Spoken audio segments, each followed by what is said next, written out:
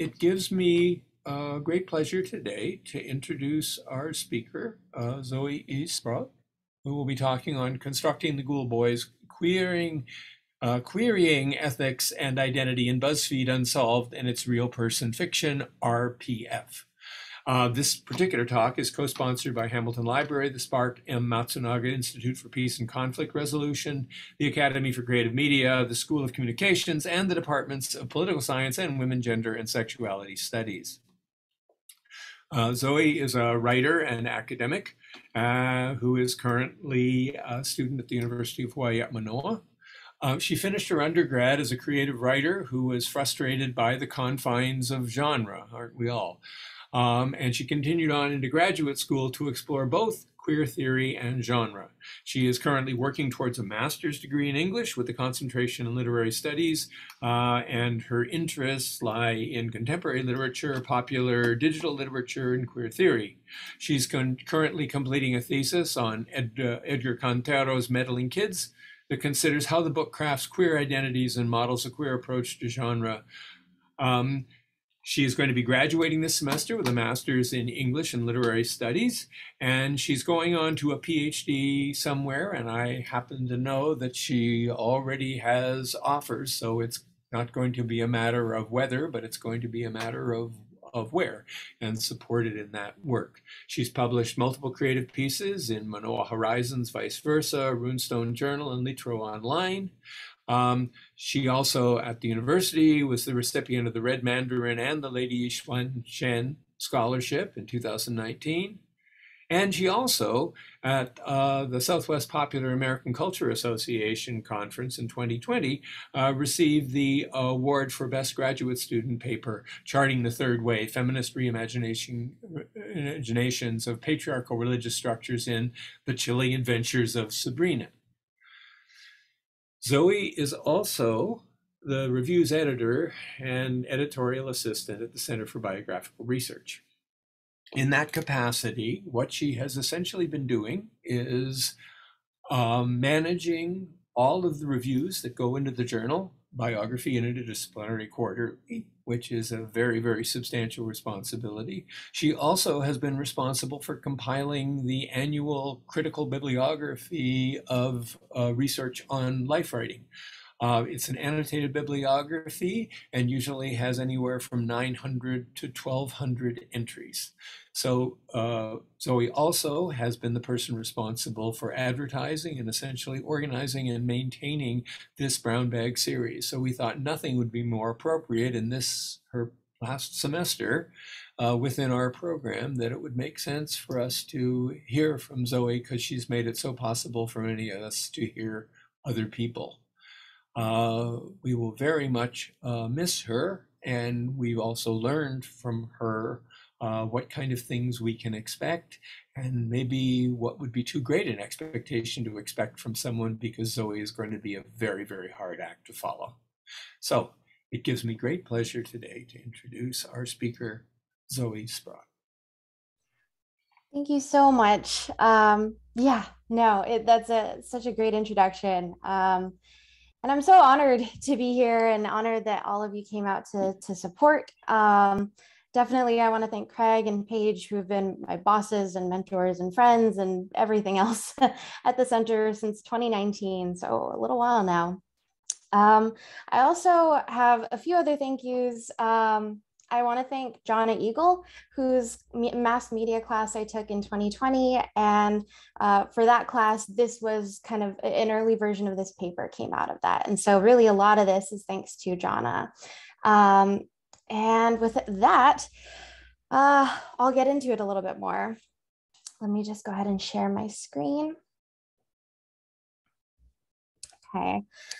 Uh, when I tell people what I study, and as Craig told you all, I tend to have a really long list um, queer theory, contemporary literature, popular literature, digital literature.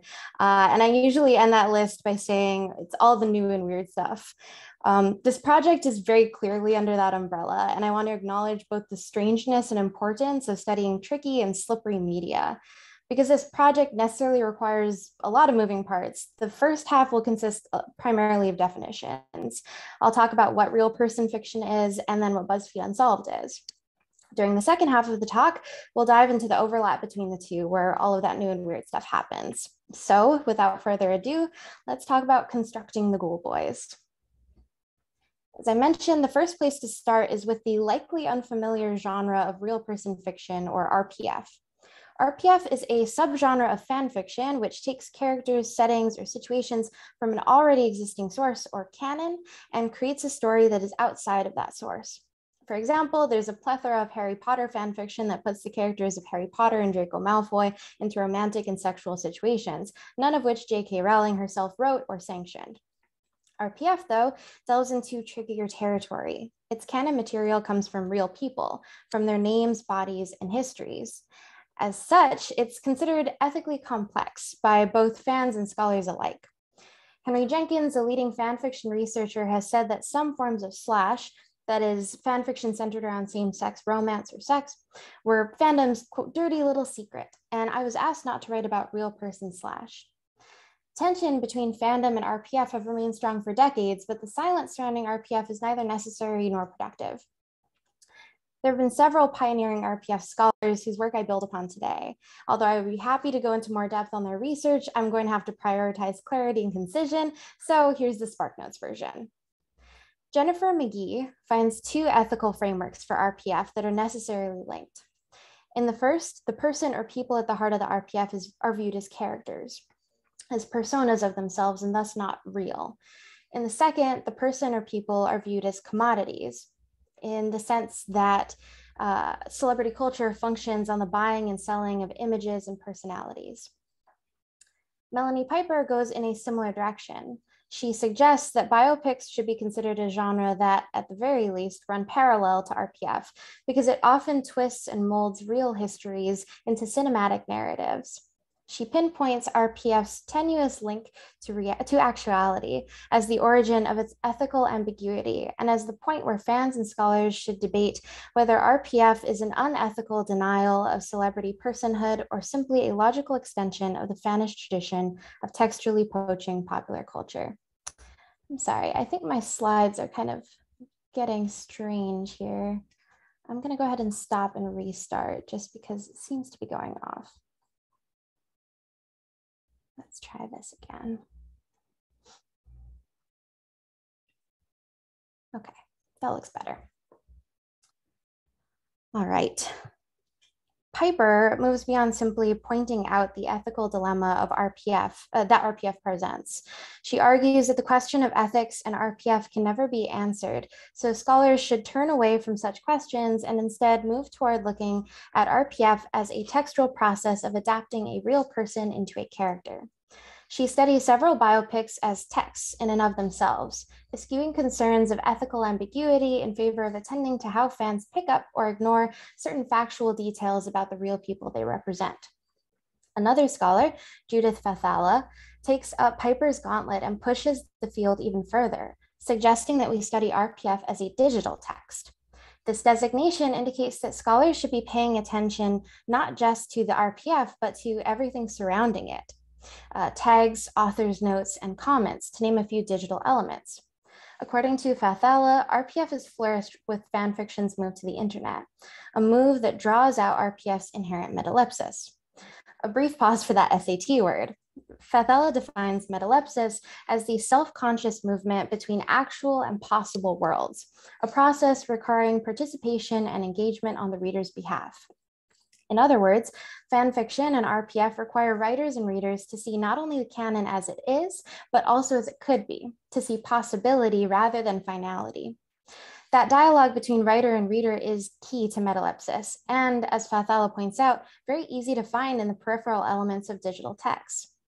By qualifying RPF as a digital text, Fathallah moves to consider RPF as a form of postmodern fiction that is both explicitly concerned with facets of identity and playfully manipulative of them.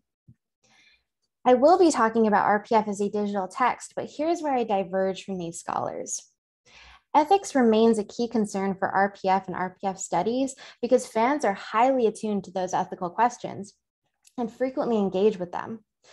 Although consensus on the ethics of RPF is unlikely to ever be attained, conversations surrounding such concerns remain an intriguing site for inspection without the goal of claiming all or part of the genre to be ethical or unethical. To quote from a few other RPF scholars, Eden Lackner, Barbara Lynn Lucas, and Robin Anne Reed, I seek to complicate the position by advancing the hypothesis that a spectrum exists between these two endpoints, with many shadings that have yet to be explored. Piper and Fathallah both suggest that RPF is situated in a space of play in which fictionality plays with reality. I argue that that space of play is extended to ethical play. And because I'm an academic, I feel the need to make long and complex titles for everything. I'm going to go a few steps further and argue that RPF is a transgressive queer genre, uh, or sorry, a transgressive queer text. Let's break that down, starting with queer theory. In general, there's quite a bit to be said about what queer theory is, and us queer theorists have been debating that question for decades. As its name suggests, queer theory does study uh, LGBTQ plus identities and practices, but it has moved further. As an easy rule of thumb, we might use queer theory to discuss identities, positionalities, and concepts that do not easily fit into normative categories. Queerness not only resides, but thrives in complex disruptive spaces. Alexander Doty is more concise than I am. He defines queerness as messiness. Uh, and RPF certainly resides in a messy space in terms of ethics as well as identities and realities. The tension between blurry categories of real person and fictional persona is dramatized in the representations of RPF as uh, and the category of real is interrogated and destabilized through such dramatizations. Now, I'm writing an entire thesis, as Craig mentioned, on a queer approach to genre, so I could say a great deal more about what makes a text queer. But let's settle for now on Donald E. Hall's definition of a queer text. He argues that it's not enough for a text to contain queer characters to be considered queer. Instead, a queer text is defined by its relationship to normativity. Queer texts do not deny the normative, but instead they provoke it, call its bluff, nudge it towards self interrogation and change. For Hall, queer texts necessarily trouble norms and, by extension, create discomfort. So, where some may argue that all slash fiction is, excuse me, in its depictions of same sex romantic sexual relationships, queer, Hall's definition of queer text suggests moving away from such simple categorization. In order to make such an argument, it is necessary to push back against the notion that there is a unified definition of queer, and that fandom or fan fiction is either queer or not queer. Although slash fiction is certainly queer in the sexualities it depicts, it is not necessarily a queer genre. In particular, it does not always present a queer approach to power dynamics, as Hall suggests a queer text would. In this case, queerness is applied not just to individual, sexual, and romantic relationships, but to larger relationships with power and normativity. From here, the arguments for both queer and transgressive designations become intermingled. Tim Dean defines transgression as involving violating not so much rules or social conventions, but more precisely taboos. As we have already seen, RPF could easily be considered taboo in fan communities, as Henry Jenkins observed earlier, and as fans themselves, even those who write RPF, still suggest. For Dean, transgression concerns not the law, but the limit, because the threat of punishment comes from inside rather than outside the self. Transgressing laws that one regards as unjust, arbitrary, or externally imposed is easy enough.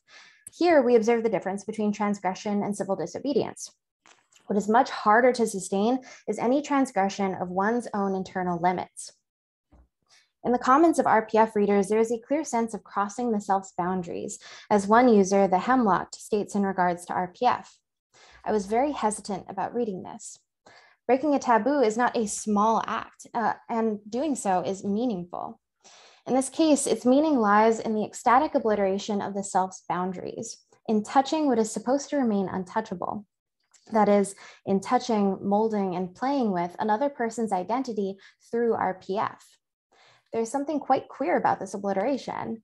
In the introduction to his book Queer Theories, Hall ruminates on why queerness engenders such strong feelings of discomfort, ultimately tying queerness to destabilizing notions of selfhood.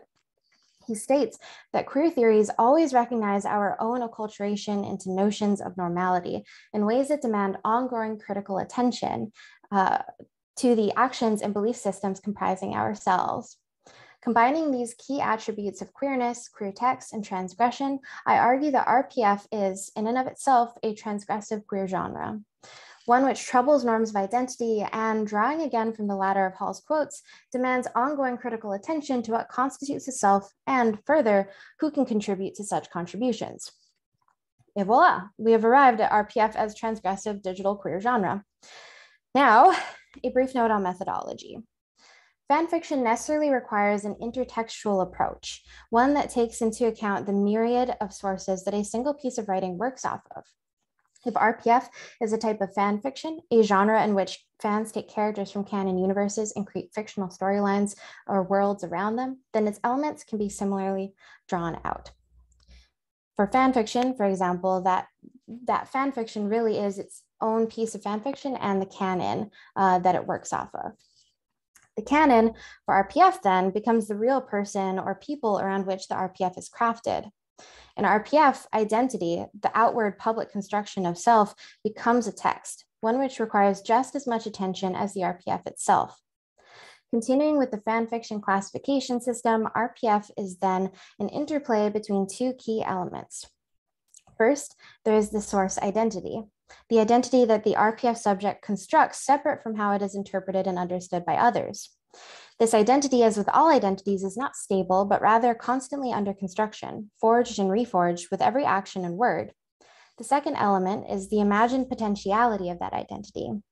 So, in studying BuzzFeed Unsolved, I am considering the content of the RPF, the digital text surrounding the RPF, the BuzzFeed Unsolved series, and the BuzzFeed Unsolved host digital engagements.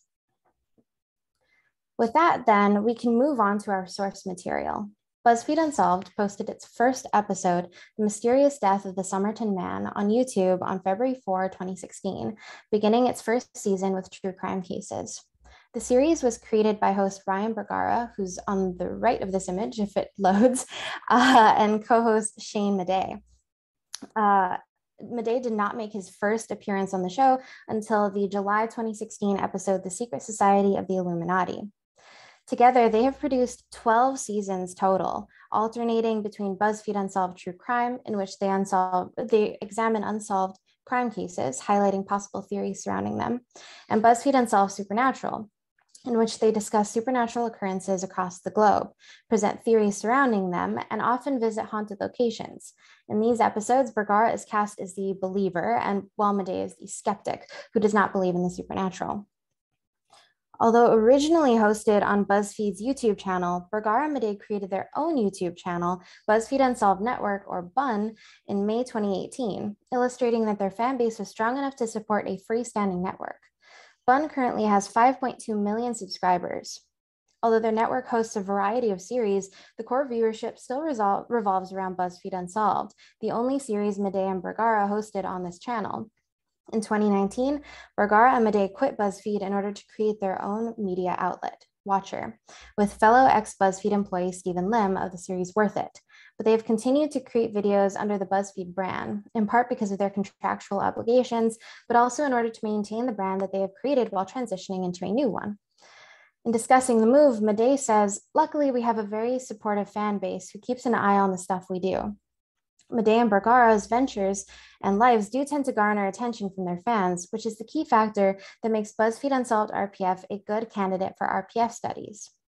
Melanie Piper discusses the incredibly complicated practice of RPF for fans to navigate and maintain the fourth wall as celebrities perform public versions of their private selves on social media and her observation is incredibly relevant in light of the emergence of social media influencers and YouTube stars like Bergara and Madej, who do not play fictional characters in their video appearances, but rather use their own names and appear to interact casually as themselves.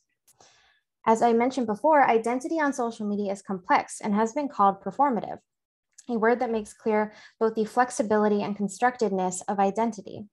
Madej himself points out that performativity when, in a Q&A video, he said, I'd just like to remind everyone that we are first and foremost actors. It can be tricky to talk about celebrity identity when there are a variety of people building and, and, and interpreting the identity of a single person at one time.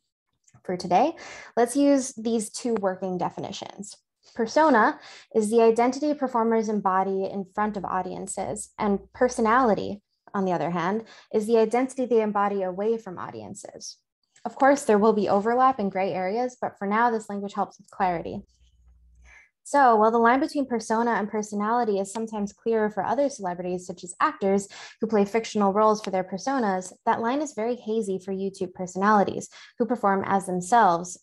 In the first BuzzFeed Unsolved episode filmed during COVID 19 stay at home orders, Madej and Bergara film separately from their own homes, and Bergara tells Madej that he has brought the Bun community into his room, a private personal space that is now publicly broadcasted to millions.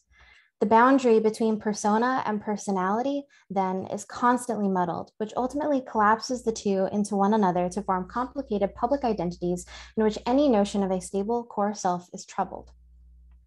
Of course, that is not to say that Bergara and Madej avoid taking on other identities throughout the show. Perhaps most famously, Bergara creates a fictional alternate persona, Ricky Goldsworth, which appears across the series in a number of jokes between Bergara and Madej. Most of the personalities, though, are based on real historical people, usually those encountered in the cases that Bergara and Madej review. C.C. Tinsley is one such example. He's a private investigator mentioned in the mysterious disappearance of the Sodder children and is taken up as a, as a persona by Madej across multiple episodes and seasons. Often, such persona adoption takes place only over short moments of comedic banter or bits in a single episode. The regular engagement with fictionalizing accounts of real people is one of the clearest contributing factors to the popularity and structure of RPF about Bergara and Madej, who seem to foster such an environment of taking up real identities and channeling them into fictional stories.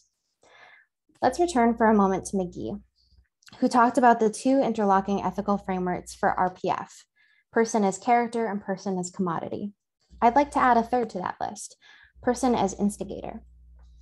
In her work, McGee references another scholar, Martin Buber, and his comparison of communication as dialogue versus monologue, which concludes that the former is a more ethical way of approaching relationships because it aims to treat what one is communicating with as a person rather than an object. One important element of dialogic relationships, though, is that participants strive for authenticity, honest self-preservation, uh, presentation without facades or false images a quality that Bergara and Madej cannot be said to embody in their series. By knowingly breaking this first ethical protocol, they set a precedent that their fans follow, taking up Shane and Ryan's personas as objects to be used for one's own ends in order to create new stories.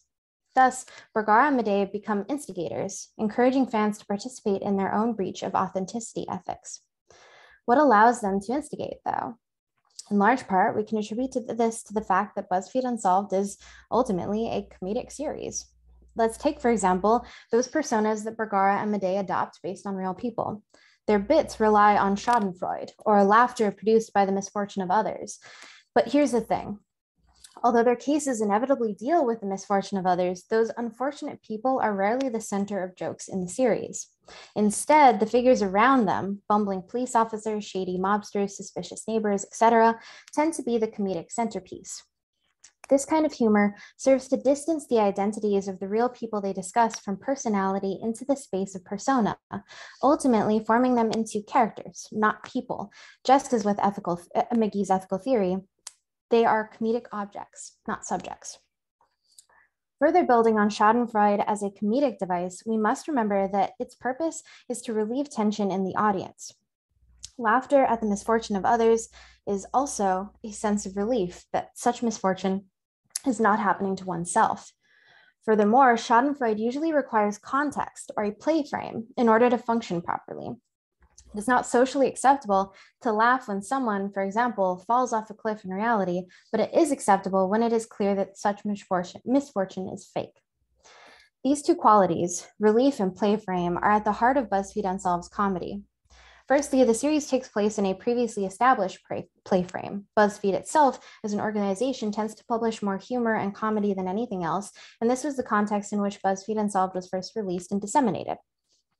Bergara and continual process of constructing comedic objects further strengthens that play frame. Secondly, the series provides audiences with interludes of humor between unsettling case details in order to relieve tension.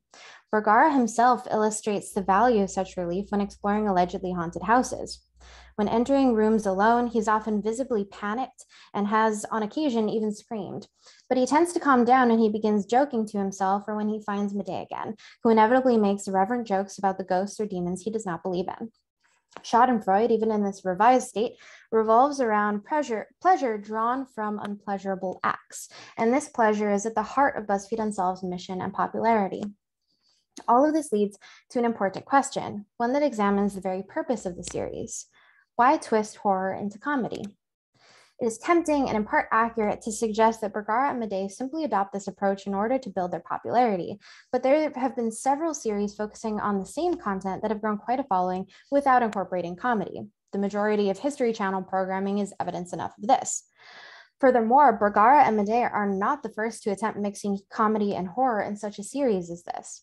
One of its most similar predecessors is Mystery Hunters, a popular kids series that ran on Discovery Kids from 2002 to 2009 and examines supernatural cases with scientific rigor and skepticism. Because of its targeted audience, the show did not spend much time discussing actual deaths, but they did create an atmosphere of horror around their investigations while incorporating interludes of levity. Although both Mystery Hunters and BuzzFeed Unsolved use laughter to relieve tension, they do so in importantly distinct ways. Mystery Hunters crafted jokes that are not as ethically complex because they made themselves, that is, the three hosts, rather than the subjects of their investigations, the butt of the joke. The ethically ambiguous space in which BuzzFeed Unsolved resides is neither coincidental nor insignificant. Bergara and Madej inject comedy into horrifying tales and investigations in order to call attention to the norms of humor American society has constructed. As a deeper exploration of Schadenfreude reveals, comedic norms do not often align with basic societal norms. Comedy has greater leeway to venture into ethical gray areas. According to Patricia Neville, comedy by its very nature interacts with and reinvents social and institutional meanings. As a result, it challenges our construction of reality and presents us with an alternative symbolic space or play frame as an acceptable site where taken for granted assumptions can be openly queried and debated by introducing a comedic spin to true crime and the supernatural, two areas that American society has labeled scary, Bergara and Madej are questioning the assumption that such content must be locked up in a space of fear. Furthermore, and more significantly, by centering their jokes on real people, they challenge the notion that the identities of real people can only be constructed and taken up by the body in which that identity was first created. This would normally be a point of anxiety and has been historically and recently in the cultural policing of biopics such as Bohemian Rhapsody and Rocket Man, which faced criticism for discrepancies with the identities and histories of the real people they represented. But the comedic play frame that BuzzFeed Unsolved constructs alleviates such tension and allows for an examination of an ethics of participatory identity. Okay, so I just threw a big term out there, and mostly uh, I'm doing that because it's cool to come up with new titles for old things. It sounds complicated in ethics of participatory identity, but really we can break it down quite easily. To start, let's talk about what has been woefully absent from our discussion of BuzzFeed Unsolved so far fans. Fan participation is an important element of the BuzzFeed Unsolved series and its ongoing popularity.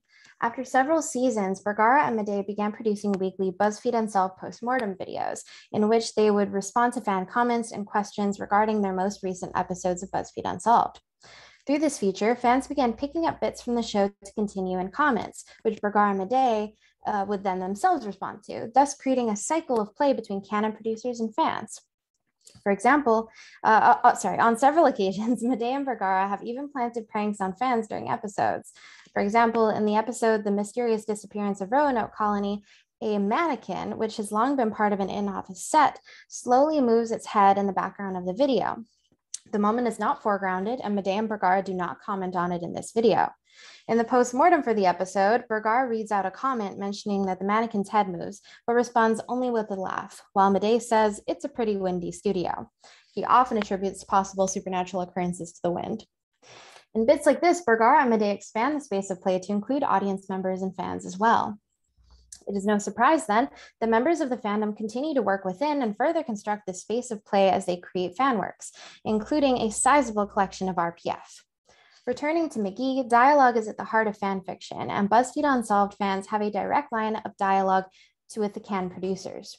Such an interplay between canon creators and fans is incredibly valuable, and fans can speak directly with Bergara and through the postmortem episodes, meaning that they can affect canon content as well as fanon or fan made tropes that are widely accepted in the fandom. There's a lot of BuzzFeed Unsolved RPF out there, so we're going to focus on the pieces with the most kudos, similar to likes or uh, likes on Facebook on, or Twitter, uh, in the Ryan Bergara slash Shane Madej tag the most popular tag in the BuzzFeed Unsolved fandom, which romantically and sexually pairs Bergara and Madej. Uh, and all of this will be through Archive of Our Own, a popular fan fiction website. The first piece is Waiting Here for Catastrophe by Anarchetypal, in which Shane reveals to Ryan that he is a serial killer. The second is I'm Clean Out of Air in My Lungs by Striker Eureka, in which Ryan discovers that Shane is a demon. You'll notice I've switched from using their last names to their first. For clarity, I'll be using their first names when referring to their characters in fanfiction and their last names when referring to Bergara and Madej themselves. As the descriptions of these two pieces suggest, the majority of highly kudos Shane Ryan RPF is also tagged as being in an alternate universe, or AU, often close to reality, but not quite the same. So, for example, Shane is really a serial killer or a demon, two popular tropes. Although these tropes sound like they belong to horror fiction, Shane Ryan RPF tends to take a comedic turn, just as their canon material does. In actuality, this should not be surprising, considering that the majority of AUs in this archive are continuations of bits from the series, including the two above. Although Bergara and Madej never explicitly joke about Madej being a demon, he often acts aggressively in locations supposedly haunted by demons, challenging them and claiming their spaces as his own. It is Madej's identity that is often picked up and cast into a new form, demon or serial killer. And McGee can offer some insight into why he, rather than Bergara, tends to be the object of this play. She argues that fan fiction is founded upon the dream of making the character more real to the fan and illustrates that such dream fulfillment usually occurs via breaking through traumatic events characters with tough facades because such a facade makes authenticity and dialogue impossible. BuzzFeed Unsolved, Madej has, uh, sorry, Madej has not on camera gone beyond comedy and jokes to reveal any deeper emotions, whereas Bergara frequently does so. Thus, Madej has maintained a so called tough facade, positioning him as a prime target for more extreme identity play.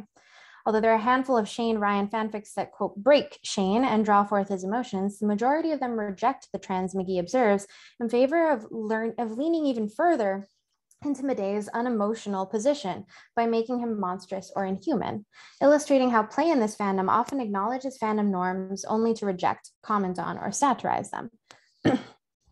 Ultimately, the practice of extending bits from the series returns to the heart of the show, as both Bergara and RPF Anarchetypal point out.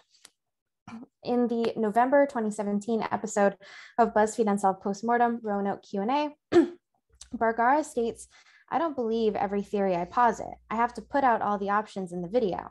I'm letting viewers make an informed decision. Earlier in 2017, in their RPF Waiting Here for Catastrophe, Anarchetypal writes Shane telling Ryan the following after Ryan refuses to believe that Shane is a serial killer. You entertain all possible theories, right? That's what this stupid show is. That's what you do. So entertain this one. Both of these quotes showcase the aim of BuzzFeed Unsolved, as well as the RPFs that the series has inspired, to seriously examine and entertain all possible theories in order to judge their likelihood. In other words, realness is the key concern of BuzzFeed Unsolved and its RPF. Where BuzzFeed Unsolved scrutinizes the realness of true crime and supernatural theories, BuzzFeed Unsolved RPF focuses on the realness of Madej and Bergara in reality and Shane and Ryan in fictionality. Both Waiting Here for Catastrophe and I'm Clean Out of Air in My Lungs express consciousness to, of the degree to which Bergara and Madej are acting for the camera in the series, dramatizing the switch between persona and personality with the use of cameras. In Catastrophe, Shane is visibly angry as Ryan describes a series of murders as belonging to a neophyte serial killer. Unbeknownst to Ryan, the serial killer he is talking about is Shane. At first, Ryan thinks that Shane's behavior is part of a bit, but it eventually becomes clear that Shane is being genuine. The narrator writes, sympathetic to Ryan's perspective, this isn't like Shane interrupting Ryan mid sentence to add comedic relief or some off the cuff banter. This is real. This is going to have to be edited out, basically. And this moment is followed by Shane abruptly turning off the camera, signaling the end of persona behavior and the beginning of genuine conversation between the two. The notion that the real must be edited out because it is a break from the flow of the series is particularly fascinating and illustrative of the fact that although Bergara and Madej do collapse the line between public and private, fans are still aware of the performativity of BuzzFeed Unsolved. However, the camera can also function as witness to the reel, even if that reel does not make it into the final cut of the series, imagined or otherwise. In Air in My Lungs, Ryan spends weeks questioning reality after he and Shane get into a car accident, and Shane is unscathed despite being flung through the windshield. The line between real and fake is unclear to Ryan, and he must go through his days reminding himself that this is all real, a habit that is difficult to maintain as Shane assures him that nothing is different or abnormal, and that Ryan's mind is playing tricks on him. This is a dynamic that is common in BuzzFeed Unsolved Supernatural. Bergara often spends each episode panicking inside a haunted house, while Madej tells him that the ghosts and demons are not real. With interludes of Bergara Madej reviewing footage of possible supernatural activity, in which Bergara remains convinced that he has found solid evidence, while Madej inevitably disagrees and explains what else could have, such, could have caused such activity. These moments of review are dramatized in Air in My Lungs. Sitting alone in his apartment, Ryan discovers that Shane is a demon because he finds footage of Shane talking to a ghost before he turns to the camera with fully black eyes. The narrator writes of Ryan, he wants to immediately throw this in Shane's face and ask him to deny the evidence. But the excitement eventually wears off when he realizes the gravity of the situation. The camera reveals Shane's real identity to Ryan, and Ryan, in turn, must confront the first piece of unquestionable evidence he has found. The plots of both of these stories and their significant relationships to cameras, recording, and acting highlights the tension inherent in Bergara and Madej's style of hosting, which obfuscates the boundary between persona and personality. Commenters on these stories express diverse understandings of Bergara and Madej's identity formations in BuzzFeed Unsolved, though many of them discuss Bergara and Madej as though they were characters, clearly viewing their public interactions as stemming from personas.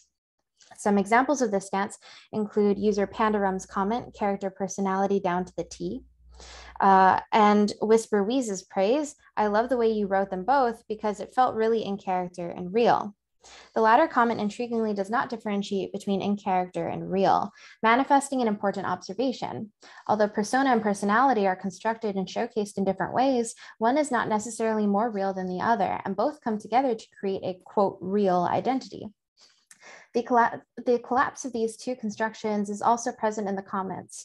In discussing the serial killer AU, Knox writes that it is somehow so on point with characterization while also making Shane a serial killer, which makes me worry about Shane's personality.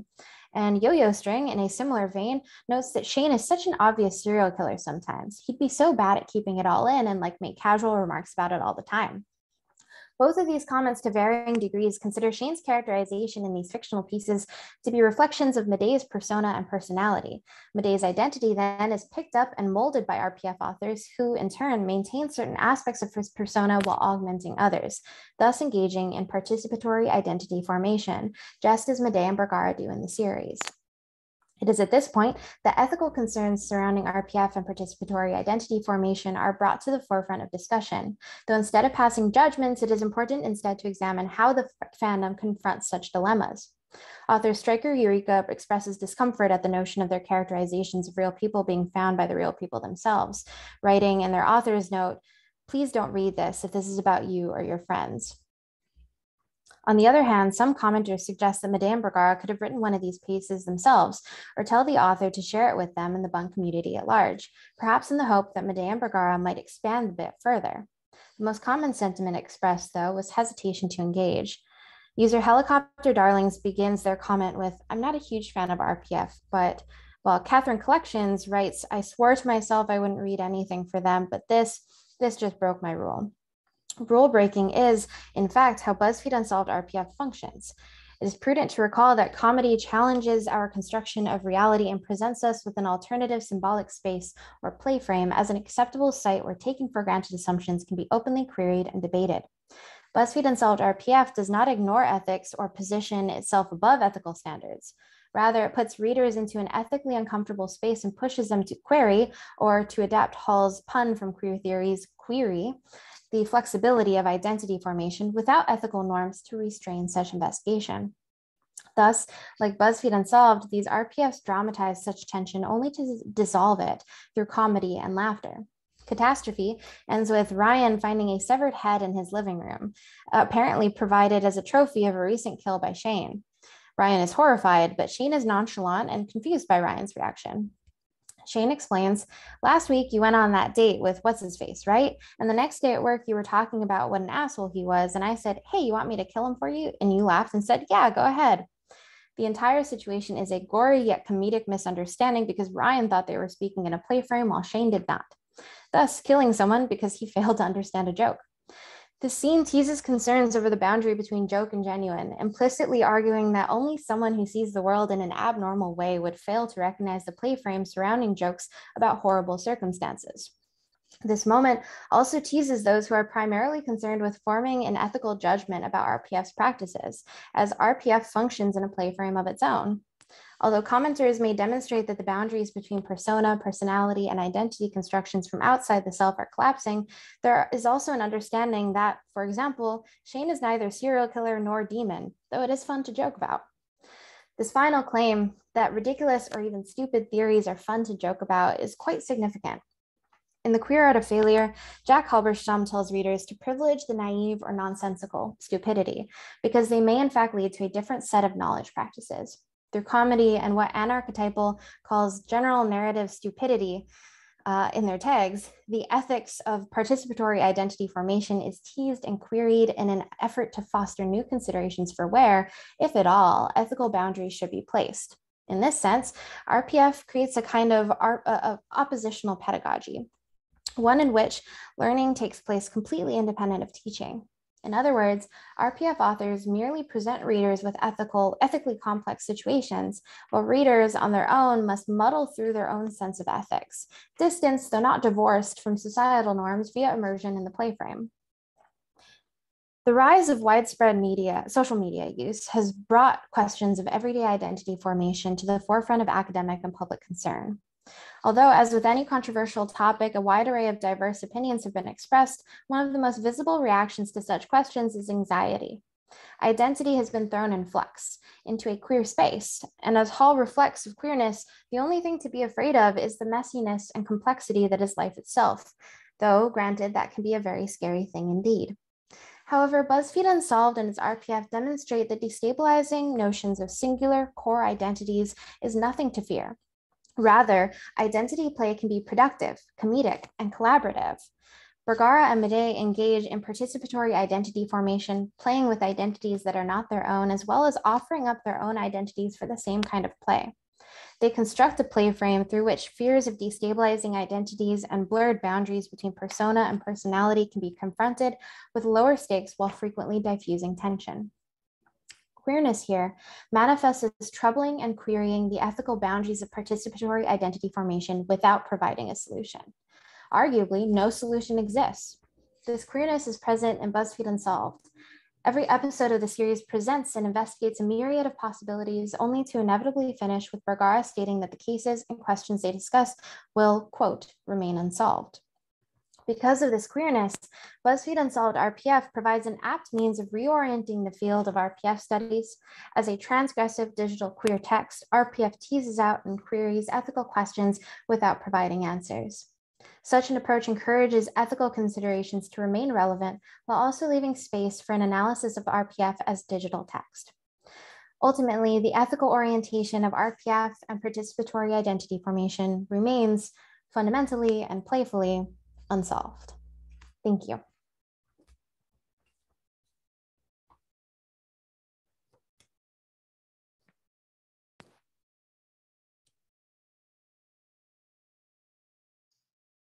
And thank you very much, Zoe.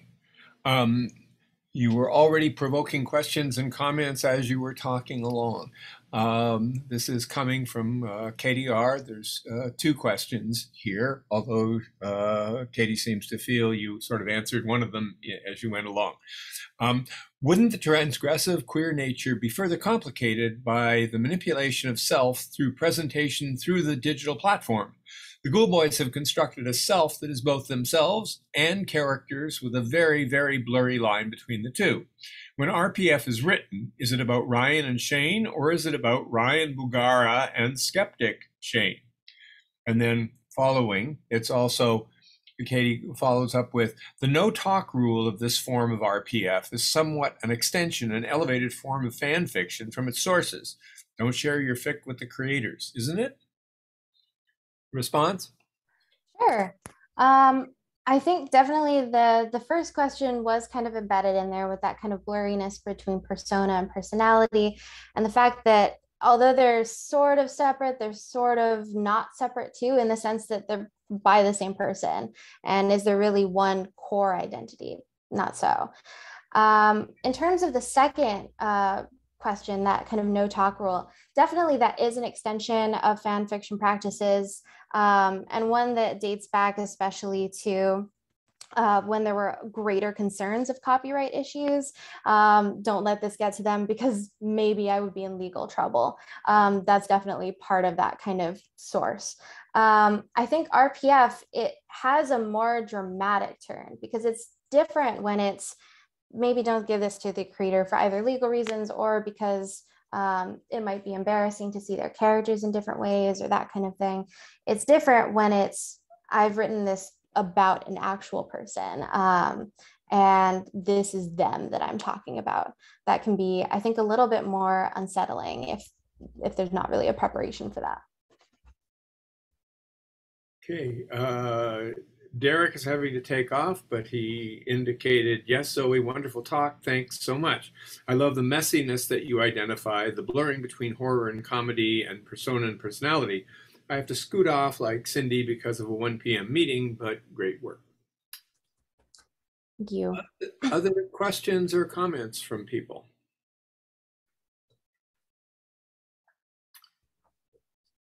Okay, I have I have a couple. Um, uh, this is resonating in part, and, and this is where the question's coming from, but I can't the nature of the talk means that it's making me put things together I ordinarily wouldn't. Yeah. Uh, I'm teaching Orlando this evening, okay?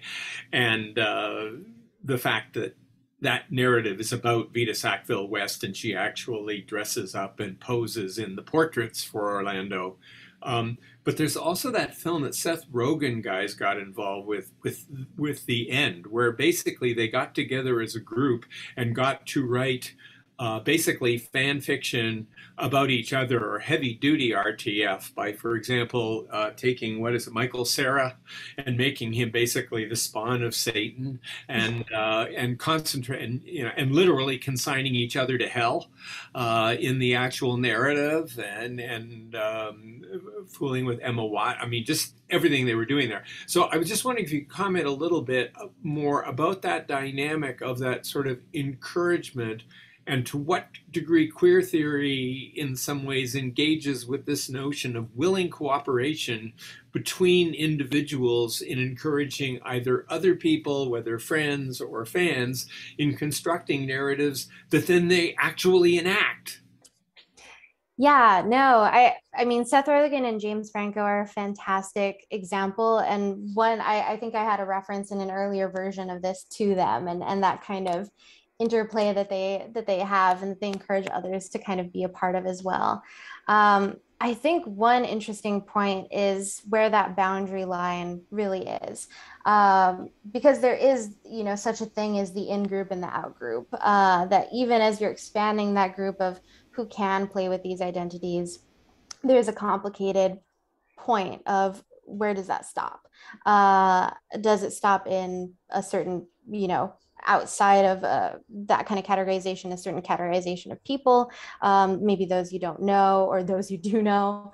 Uh, does it stop with, um, apologies, uh, does it stop with uh, the kind of content you're writing about? That, that sort of complexity is definitely there.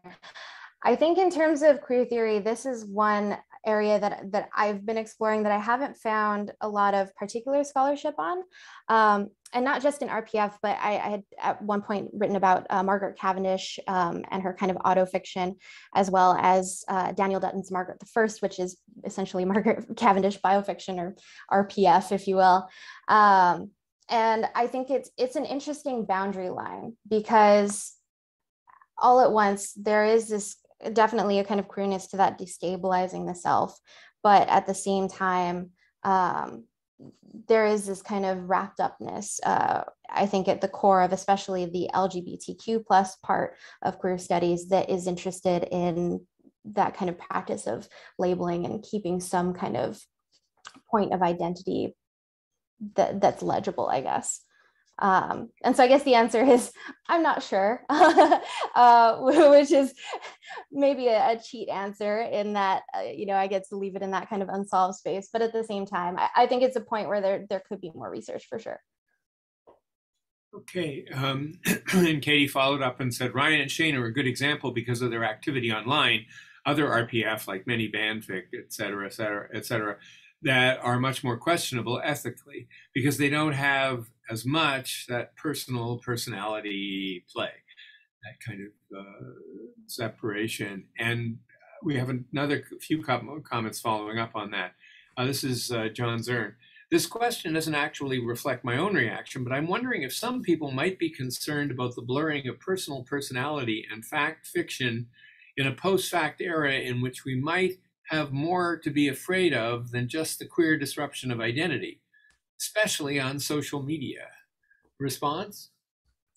Definitely. Um, that kind of paper I mentioned on Margaret Cavendish and Danielle Dutton and autobiofiction, uh, I had forwarded uh, a kind of idea that I walked back not long after of an idea of queer truth, um, which is immediately complex and complicated, especially with the idea of fake news and the idea that that could get wrapped up in, in itself. Um, and so I think there is that kind of fear and anxiety. And I, I think to a point, there is uh, grounding to that kind of anxiety. But at the same time, it also implies that that wasn't there before, I guess. Um, there's always been this kind of boundary line, strange blurring of boundary lines. Uh, even in just the idea of code switching, you know, you talk to one person differently than you would talk to another. I'm talking to you all very differently than I would talk to my partner or my parents or someone else. Um, and so there's always this kind of, you're always seeing fractions of an identity. And the way that those come together um, is that kind of queerness, I guess. Uh, there's something strange about seeing multiple sides of a person at once that maybe you're not used to. Okay. And Amy Carlson, um, speaking of blurriness, um, how far out does the play frame or text to consider go? I feel like fans bring some of this to other platforms.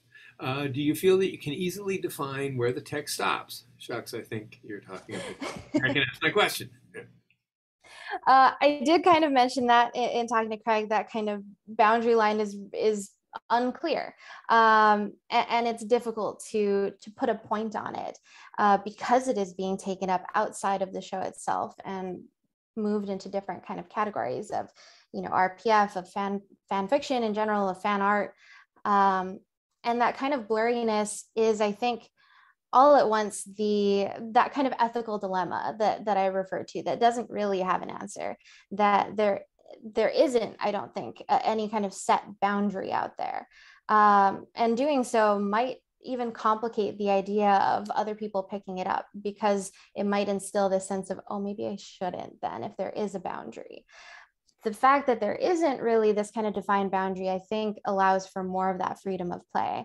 Um, and again this the the kind of a, lot of what i'm trying to get at too is not necessarily the like ethical judgment of it at least for for myself. Uh, and i think it is uh, definitely i agree with the many of the scholars in that it is an ethically complex area. But eh, that kind of ethical complexity is is kind of the i guess the springboard on which to build and to see how fans take it up Okay, this actually came up uh, during the seminar that created that book, The Ethics of Life Writing. Um, and the question, I'm just interested in terms of delineation here. Um, does RPF necessarily involve someone who is still alive? Not necessarily. Okay, that's the case. Then I'm going Joseph Campbell. Um, changing or extending or transforming or queering dead historical figures has been a fundamental aspect of all fiction from the very beginning. It is the historical novel and so on and so forth. So if there's not a distinction without a difference, what specifically is the focus in on RPF? What does that delineate other than the fact that nobody can actually prevent anyone else from doing whatever they want with other people's uh, natures, identities, historical facts, and so on and so forth. Uh, this came up um, because there was an essay um, about a novel uh, that uh, was about Sylvia Plath and Ted Hughes.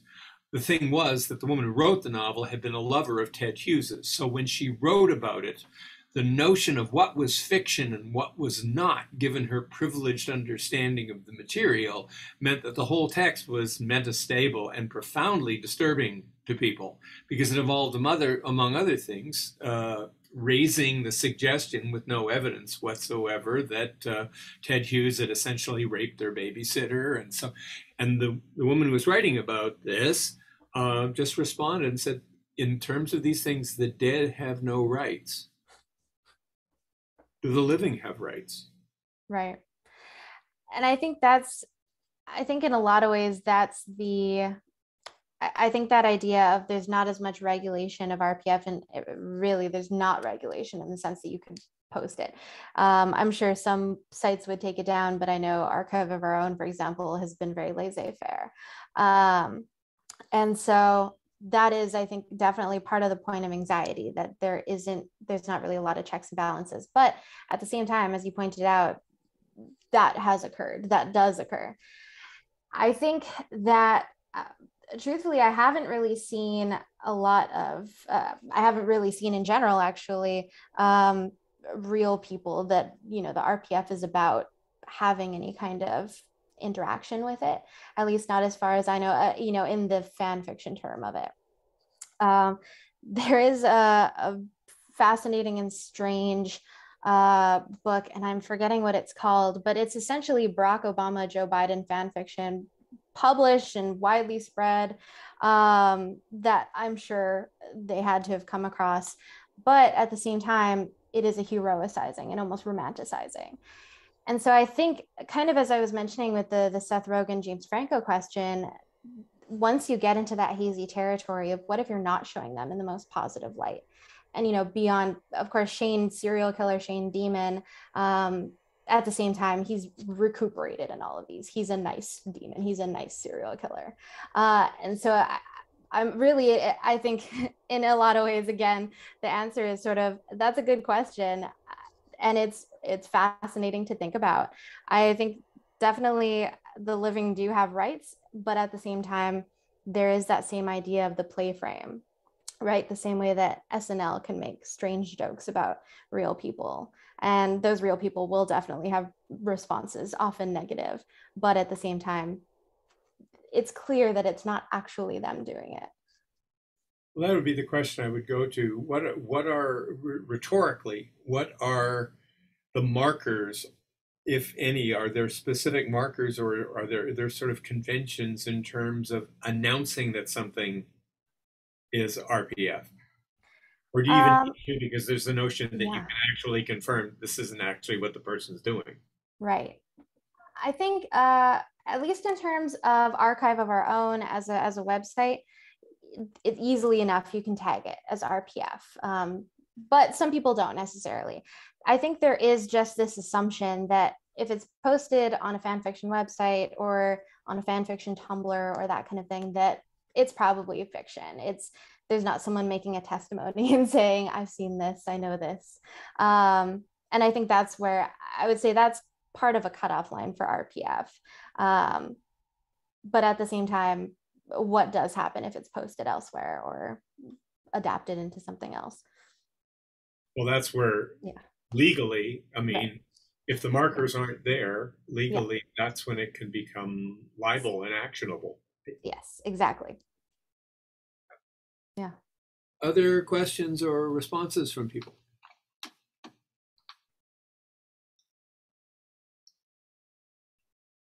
Okay, then. Well, I think the timing's worked out very well. Uh, we've been, you know, thank you very much for this, and thank you for everything you've done for the center.